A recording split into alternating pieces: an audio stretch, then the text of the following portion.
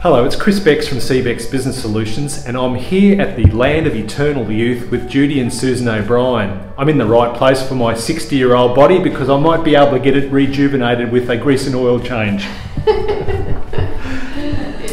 Susie and Jude, welcome. And can you tell us how Ceebeks Business Solutions helped you personally and helped your business?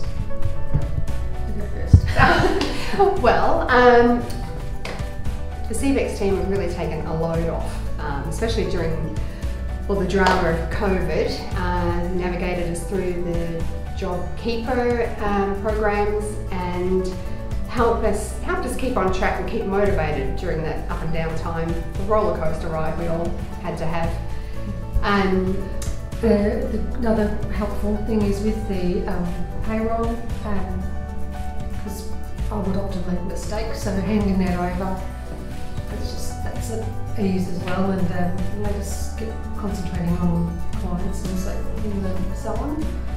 Um, also, in times of extreme stress in the past, where we had previously been made feel like we should just give up, Chris and the team have been very um, supportive and motivating, so that's been great as well.